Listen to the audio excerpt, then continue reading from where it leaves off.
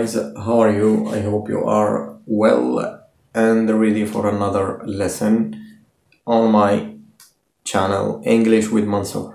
مرحبا بكم أصدقائي أتمنى أن تكونوا في أحسن حال وعلى استعداد لدرس جديد إن شاء الله. درسنا اليوم سيكون عن الماضي المستمر أو ما يعرف ب past continuous.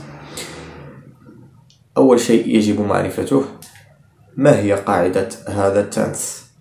القاعدة هي كالتالي نستعمل was, were plus verb plus ing متى نستعمل was؟ كالعادة في أربعة ضمائر وهي I, he, she, it و were نستعملها مع we, you, they ما هو هذا التنس؟ في هذا التنس يعني هنالك نوعان يعني سأقوم بشرحه كالآتي يعني سأقسمه إلى نوعان. النوع الأول نستعمل past continuous و past simple في جملة واحدة. ستقولون كيف؟ يعني سنعرف هذا النوع الأول ب when يعني تكون لدينا when في الجملة.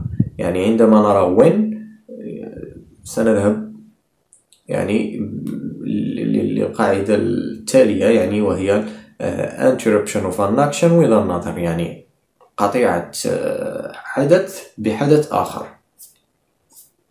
يعني كنت أشاهد مثلا التلفاز وفجأة طرق شخصا ما يعني الباب. I was watching TV when the door knocked يعني قطع الحدث الأول بالحدث الثاني. I was watching TV when the door knocked النوع الثاني هو while يعني يكون لدينا أسلوب while في الجملة هنا سنستعمل ال past continuous في الحدثين يعني لأننا لدينا يعني two actions in the same time حدثين في نفس الوقت مثلا I was doing my homework while my mother was cooking يعني كنت أقوم بواجباتي المدرسية بينما أمي تقوم بطهي. يعني نقوم بنفس يعني بحدثين مختلفين ولكن أنا مشغول وشخص آخر مشغول في نفس الوقت. هذا هو الفرق بين هذين النوعين. يعني type 1 تكون لدينا when في الجملة وعندما نرى when يعني سنستعمل ال past continuous وال past simple. النوع الثاني تكون while. While سنستعمل past continuous في الحدثين. اختلاف واحد فقط في هذا النوع الثاني وهو عندما أتحدث بالمفرد والجمع في نفس الجملة. مثلا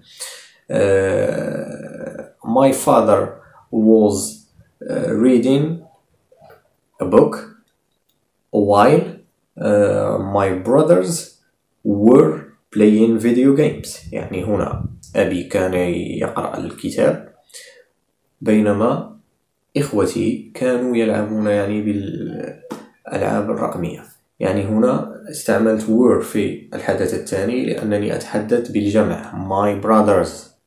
وليس يعني شخص واحد. يعني هنا لدينا شخصين أو أكثر.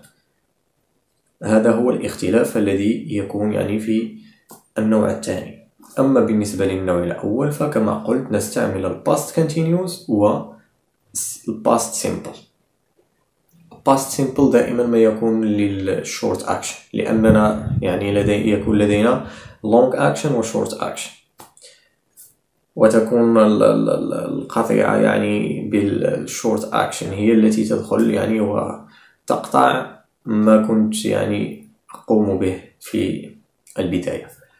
وشيء آخر أركز عليه بأن هذين الأسلوبين يعني when و while يمكن أن نجدها في وسط الجملة أو في بداية الجملة.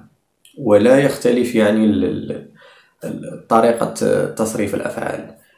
عندما أقول مثلا I was watching TV when uh, the door knocked ممكن أن أستعمل when في بداية الجملة وأقول when I was watching TV the door knocked المثال الثاني uh, I was doing my homework while my mother was cooking يعني ممكن أن أبدأ الجملة ب while while I was doing my homework my mother was cooking هذا هو past continuous وكل ما يتعلق بهذا التنس. أتمنى أن تكونوا قد فهمتم هذا التنس جيدا.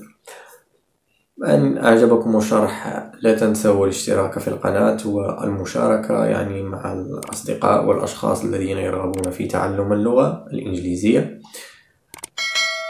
أتمنى أن تكونوا دائما بألف خير.